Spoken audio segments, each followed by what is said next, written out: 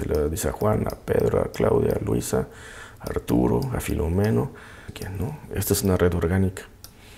Pero en el caso de los bots es el iniciador o el grupo central, que generalmente son cuentas pequeñas que cobran muy barato. Luego los medianos influencers que cobran un poquito más.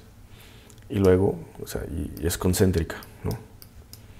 Son como redes estrellas, eh, fue detenido el presidente de Perú y nombraron una presidenta sustituta, ¿no?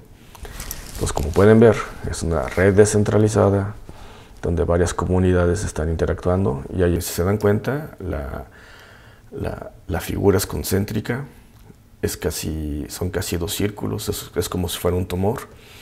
Es totalmente distinto a esta figura descentralizada.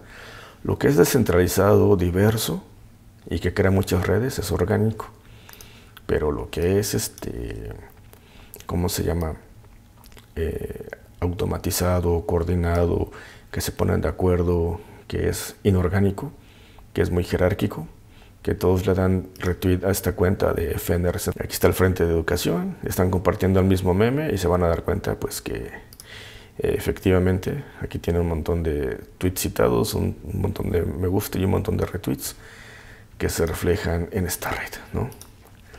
Aquí hay un gran, aquí hay un gran tweet. Aquí la ventaja de Hoxie es que podemos ver el replay, ¿no? llega otro bloque de tweets y luego llega otro bloque de tweets y del lado derecho podemos ver como de los 192 que analizó 43 son bots 69 parecen bots y ahí ya tienen ya ciento y tantos mensajes automatizados con algunos orgánicos